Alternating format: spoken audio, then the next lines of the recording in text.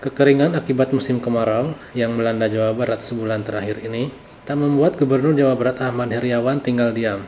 Berbagai upaya telah ia dan jajarannya lakukan seperti memberikan bantuan pompa air kepada petani, penghijauan untuk serapan air di berbagai daerah, sampai penggalian sumur. Salah satu upaya lain yang ia lakukan adalah menggelar sholat istisqo atau sholat untuk meminta turunnya hujan seperti terlihat saat ia bersama ratusan jemaah melaksanakan sholat istisqo di halaman depan gedung sate.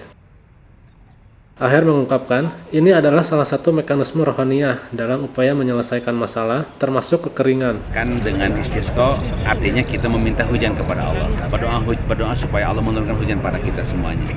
Dan ternyata di masa Nabi, di masa-masa setelahnya, sampai masa kita juga ketika Allah mengabulkan dan Allah insya Allah pasti mengabulkan hujan segera turun.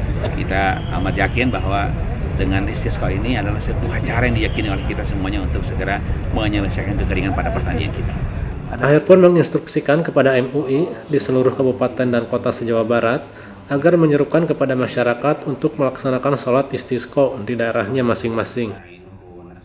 Seperti diketahui, sebulan terakhir ini Jawa Barat khususnya wilayah Pantura seperti Karawang, Subang, Cirebon, dan Indramayu dilanda kekeringan yang mengancam sekitar 49.000 hektar sawah dari total 925.000 hektar sawah di Jawa Barat.